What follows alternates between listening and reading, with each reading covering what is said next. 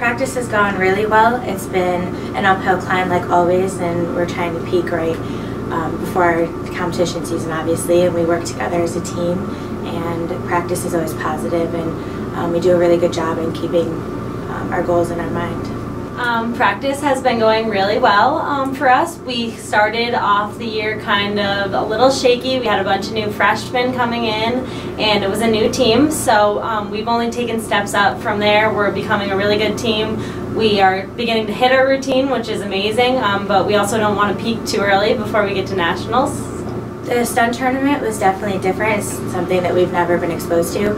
Um, leading up to it, it really helped us with our technique. Um, so going into our competition realm, it's making everything seem more easy. Um, so it's definitely helping us um, for our future and our national goals. Um, our goal always before we go to a competition is that we want to hit, obviously, because if you hit your routine, um, you're maxing out on the score sheet. And if we hit our routine, we're in the top um, we're going to be the top teams in the nation. So we are hoping to hit our routine this weekend and battle at the Capitol and just feel really confident coming off the mat. Our goal is really to focus on ourselves. We're not really worried about um, other teams or comparing ourselves to other teams. So we're working on making ourselves better each time that we do the routine. And if that means coming out with a national championship, then so be it.